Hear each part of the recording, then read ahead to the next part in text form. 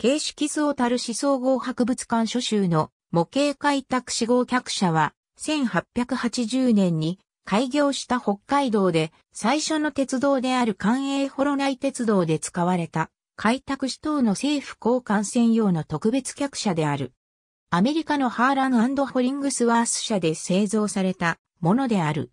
アメリカ式開放客室で中央通路、デッキ、転換式、クロスシートを持ち、飲料水タンク、洋式便所、ストーブがあるのも特徴である。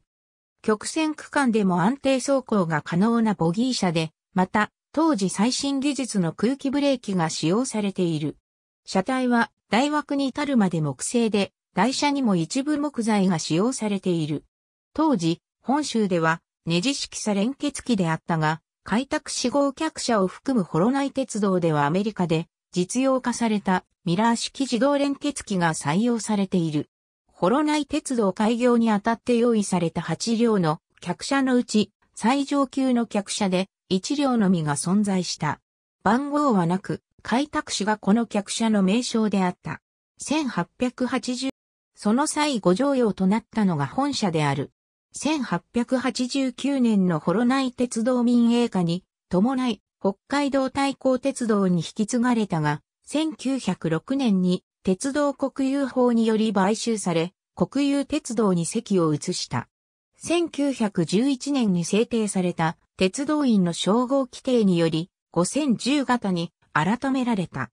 1923年、弁慶号機関車とともに保存のため東京に送られ、大井工場内の五両車庫に保管。1948年、交通博物館へ移されて公開された。鉄道博物館に保存されている開拓四号客車1961年に鉄道記念物に指定された。